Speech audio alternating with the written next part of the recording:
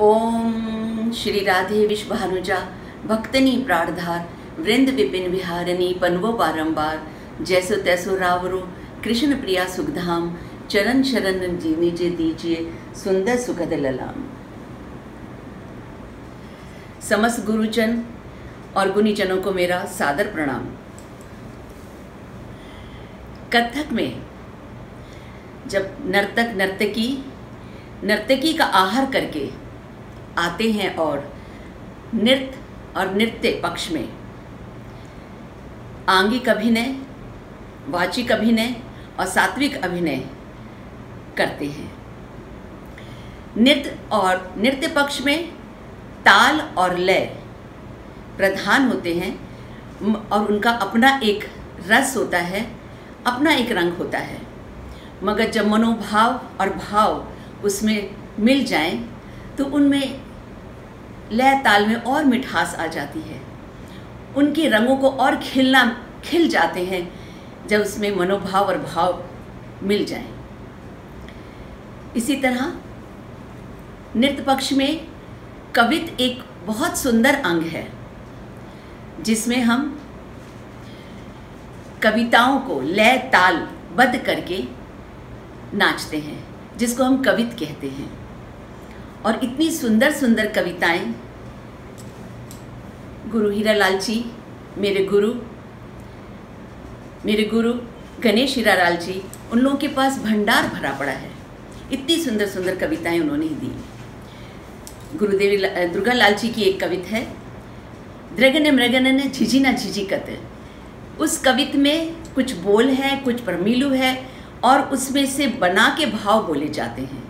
इतना सुंदर है वो कि एक प्रकृति के ऊपर बनी है वो कवित। द्रगन मृगन ने झिझिना झिझिकत कोयल कुकु कुकु दिख दिख दिखाई। बिचुरी कर कत, तक तक तक थुन नाना तक तक तक थुन गजन घन घन धागे ने धागे तिटे तागी ने तागे तिटे किड़दे धे धे धागे ने था किड़ते थुन तुन थुन नगे ने ना, किड़ते घेगे ना घेगे तिटे, घेगे ना घेगे धा ने धा धा धा, किड़ते घा ने धा धा धा, किड़ते घा ने धा धा धा। एक हिरन बिजली के कौन से चमक उठा था? और एक हिरन एक बूंद पानी के लिए तरस के मर रहा है। उसी की जोड़ की है मृग तृष्णा। गुरु हीरालाल जी की गणेश भैया ने मुझे दी। और इसमें भी उसमें धलांग और तरांग, इसी के अंदर भाव हैं कि धलांग में कैसे हिरन की उछाल आती है। ये भाव इस कवित में जुड़ते हैं। दृग तक, दिग तक तक धलांग, दृग तक तक तक तक तरांग। तरांग तरांग तकता दिगता तक धलांग, धीमी धलांग, कुक धलांग धा। चौ दिश चितवत दृग मृग तृष्णा, जल महान नहीं पात पान निज तजत प्राण, तिधा दिक दिक तिधा दिक दिक तिधा दिक दिक धल्लांग धल्लांग धल्लांग धा। नहीं पात पान, निज तजत प्राण, तिधा दिक दिक तिधा दिक दिक तिधा दिक दिक धल्लांग धल्लांग धल्लांग धा। नहीं पात पान, निज तजत प्राण। तिधा दिक दिक तिधा दिक दिक तिधा दिक दिक धल्लांग धल्लांग धल्लांग धा। इसी तरह कवित में बहुत प्रकार की कविताएँ हैं। एक सखी, बहुत ही शर्मीली सी सखी, अपनी दूसरी सखी को बता रही है कि उसके साथ क्या हुआ। सुन रही सखी, हम आज चली, सज धज, सखी सब संग सहेली, एक से एक को, रूप अनोखो, सभी रही हम नई नवेली। जात रही जमुना जल भरन, कृष्ण करी हम सोई ठिठोरी। झटपट झपट उल्टे घूंघट, नैन से नैन तहाँ मिलेरी। बैठ गई सकुचाई के दैया, हाय राम, अब कैसे बचूरी? इस कवित में, इसके बोलने में, जिस तरीके से वाचिक अभिनय का भी एक आभास मिलता है। वाचिक अभिनय में नृत्य पक्ष में हम जब पढ़ंत करते हैं, ये सब वाचिक अभिनय आ जाता है। उसके बाद इन कविताओं में भी वाचिक अभिनय है और बहुत सुंदर है। अब इसी तरह से एक अगर कवित हम थोड़ी सी वैसे बोले शिव के ऊपर, ये कृष्णा पे थी हिरण पे थी, प्रकृति पे थी, अब शिव के ऊपर। जटा गंग चंद भाल विराजे मुंड माल गल भुजंग साजे। चिता भस्म अग दिग दिगंबर, कर त्रिशूल, कर डमरू साजे। डिग डिग डम डम, डिगुड़ डगड़ डिम, डग डग डिमि डिमि, डुगुड़ डगड़ डुगुड़ डगड़ डिम डिम, डुगुड़ डगड़ डिम डिम, डुगुड़ डगड़ डिम डिम। ब्रह्मा, विष्णु, देख देख मन मन हर्षाए नारद सारद देव मुनि संग नंदी, जय जयकार मचाए जय शंभु, जय जय जय शंभु जय शंभु। जय शंभु, जय जय जय शंभु जय शंभु। जय शंभु, जय जय जय शंभु जय शंभु। कवित्व में तो बहुत प्रकार से हम भाव कर लेते हैं। इसके बाद आता है गत निकास। सुना है, थोड़ा पढ़ा भी है कहीं, कि कम से कम डेढ़ सौ के ऊपर गत निकासें होती हैं। गत निकास में अंदाज सी गतें बहुत हैं। मैंने कोशिश करी थी कि नायिका नायिका भेद को गत निकास में करना। कि गत निकास में किस तरह से गति के साथ चलते हैं उसकी है धा दिन दिन दा धा दिन दिन दा धा दिन दिन दा। इस गति के अंदर हम गत निकास करते हैं। और इस गति में अलग अलग चालों से नायिका भेद का हमें थोड़ा सा आभास दिलाना। कई प्रकार की नायिका भेद हम इसमें दिखा सकते हैं गत निकास में कि किस तरह से कौन सी नायिका कैसे चलती है।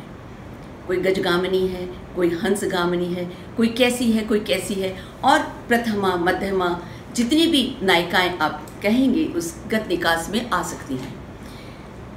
गत निकास के अंदर मैं, घूंघट की गतों के अंदर, घूंघट की गत निकास। गत निकास में एक ख़ास मुद्रा पकड़ के आप गति के साथ निकल रहे हैं। उसी गति में आप सारे विभिन्न विभिन्न भावों को प्रदर्शित प्रदर्शित कर रहे हैं। घूंघट की गत में है, जब एक अपने ऊपर बहुत विश्वास है उसे अपने सौंदर्य पर। तो वो कैसे अपने घूंघट को खींच कर पलट के देख रही है। और इसी तरह से वो निकली है। दूसरी सखी शर्मीली है। देखना चाह के भी नहीं देख पाती। तीसरी इंतज़ार में है।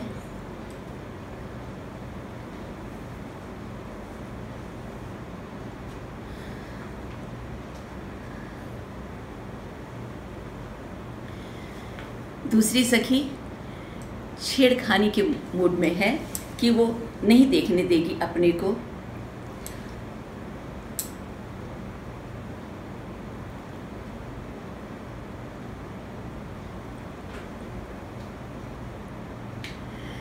और एक चंचल दोनों तरफ़ से पकड़ के और इस चंचलता से न देखना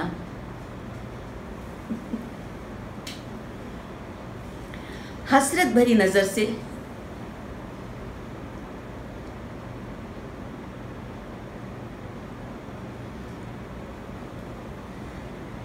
और इसी में वो गति के साथ निकलना।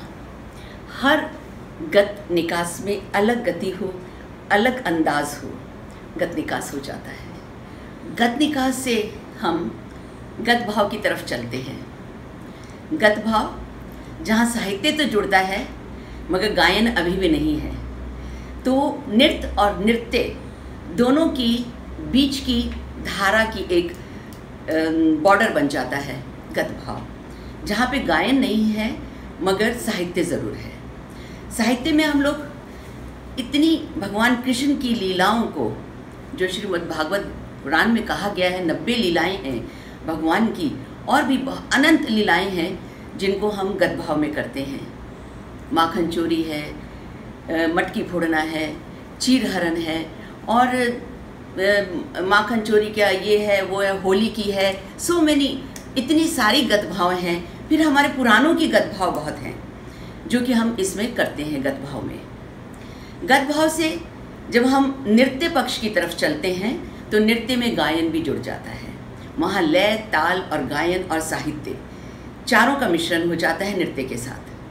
तो उसको हम नृत्य कहते हैं। जब वहाँ पे हमारे पास नृत्य के अंदर, गायन के अंदर बसंत, होली, कजरी, चेती, टप्पा, ठुमरी और भजन इतनी अनंत चीज़ें हैं। रति, भक्ति भाव भक्ति रस भक्ति रस के भी और रति रस के भी। उन भक्ति काल का भी, रति काल का भी। कितने महान कवियों ने क्या क्या लिखा है और सारी रचनाओं पे हम उसको करते हैं। उसके बाद भी अगर कोई चाहे तो अपनी इच्छा से और भी कुछ कर सकते हैं। अष्ट कवि हैं, उनकी लेते हैं, क्योंकि कथक एक खुला नृत्य है। बंदिशों में बंधा हुआ हम बंदिश करते हैं, बंदिशों में बंधी हुई बंदिश करके भी हम खुला नाच करते हैं। इसी तरह भाव पक्ष में भी हम खुला न है। अनंत है, अनंत गगन के समान, अनंत सागर के समान। इतना कुछ है कि इस जन्म में नहीं, अगले जन्म तक भी हम शायद सीख ना पाए, इतना गुरुओं ने दे के गए हैं। उसके बाद भी अगर किसी को नया कुछ करना होता है तो इन बातों का ख्याल रखते हैं कि साहित्य लेने के समय शब्द क्या कह रहे हैं? किससे कह रहे हैं? क्यों कह रहे हैं? कब कह रहे हैं? वो शब्द क्या कहना चाहते हैं? और फिर उन शब्दों को समझकर लय ताल के साथ उसकी उन शब्दों को, उन साहित्य को लय ताल बंद करना और फिर राग के साथ बंद उसको लेना, रागों को, रागों की चॉइस करना कि इसमें नायिका, नायक या इस भजन या इस ठुमरी में या इस बंदिश में या इस रचना में कौन क्या कह रहा है। इस बात को समझते हुए हमें अपनी रागों की लय ताल की बहुत समझदारी से चूज़ करना पड़ता है। कबीर का है घूंघट के पट खोल घूंघट के पट खोल कौन कह रहा है? ननंद भाभी से कह रही है, सास बहू से कह रही है, या माँ बेटी से कह रही है, या सखी सखी से कह रही है कि घूंघट के पट खोल तो है पिया मिलेंगे। अब इस पिया की बात हो रही है या उस पिया की? जो कहाँ है, जिसको ढूंढना है, कैसे ढूंढना है? अपने हृदय के पट खोल के ढूंढना है, हर किसी में उसको देखना है, हर किसी में उसी को देखना है, या फिर अपनी सोच को खोलना है। सोच को खोल के, सोच के पर्दों को हटा के, सब कुछ किस किस रास्ते से निकल के जाना है, जो मुझे वो पिया मिलेंगे। इस बात का ध्यान रखते हुए, और फिर हमें अपने अंदर ही देखना है बाहर नहीं, बाहर कहाँ ढूंढे उसको? कौन सी जगह ढूंढे उसको? कहीं नहीं, अपने अंदर ही, अपनी आत्मा के पट खोलने हैं। तो ये पट खोलने की बात जो है, वो कहाँ की है, ये सोच समझ के करने वाली बात है। और इसी के आधार पर उसका राग, इसी के आधार पर उसकी लय, ताल, सब चूज़ करना होगा। इसी तरह सूरदास जी का एक बहुत सुंदर रचना है, सारंग। सारंग शब्द को लेकर उन्होंने सारंग सारंग सो कहे सारंग दियो मिलाए सारंग समय सारंग अति जलाए। अब वो सारंग शब्द को, सारंग मतलब राधा, सारंग मतलब सखी, सारंग मतलब बांसुरी, और सारंग मतलब जो बांसुरी को धरता है, वो भी सारंग है। और सारंग रात्रि है, सारंग चंद्रमा है, उस चंद्रमा की जो किरणें आ रही हैं, वो उसको जला रही हैं। इसका मतलब वो बिरहनी है और सारंग अपनी सखी से कह रही है, वो सारंग धरने वाले को मुझे मिला दे, किसी ढंग से मिला दे। सारंग कमल को भी कहते हैं। तो वो कमल कर कमल चरण, जिसके कमल के समान हाथ है, कमल के समान उसके चरण हैं। ऐसे सारंग को जो रंगीला है, सारंग में रंगीला, जो रंगीला कृष्णा है, उससे मुझे मिला दे। तो इस सारंग शब्द को आप कितने कितने, किस जगह पे कैसे उसको चेंज करेंगे, वो भाव है। कि सखी का भाव, राधा का भाव, और वहाँ जहाँ कृष्णा का भाव दिखाया, जहाँ बांसुरी का भाव दिखाया, जहाँ चंद्रमा का भाव दिखाया, ये सारे अलग अलग अलग उस एक सारंगी शब्द के ऊपर चलते हैं। खंडिता, हम लोग खंडिता सब लोग करते हैं। खंडिता की भी बहुत चॉइस है। मेरे घर, काहे मेरे घर आए हो? अब ये कौन नायिका कह रही है? जिसका अपना घर है और जो जिसको मिलने कोई आया है, जिसको वो कह रही है, क्यों मेरे घर आए हो? जाओ, उसी के साथ जाके रहो। यहाँ से जाओ। सूरदास जी की एक खंडिता है। बहुत सुंदर शब्द है उसके। अंजन अधर ललाट मुहावर, नैन तमोर खवाए। अब वो जो कह रही है, उसने उस अपने पति को नहीं कहा कि तुम जाओ।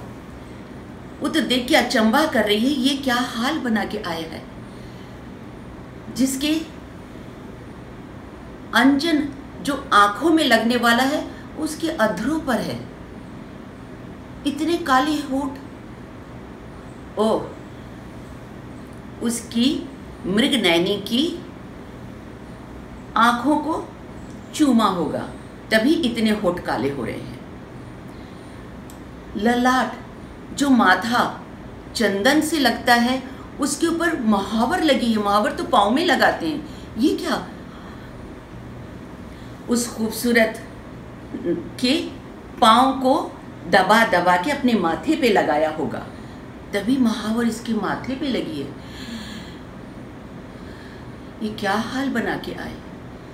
सूरदास की रचना है।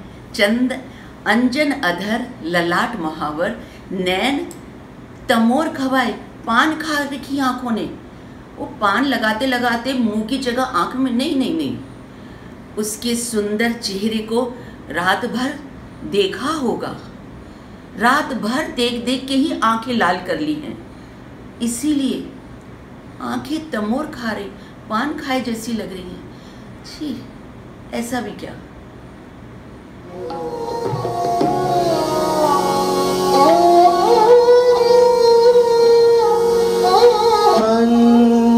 आखर लाला तुमावर नैन तमोर खवा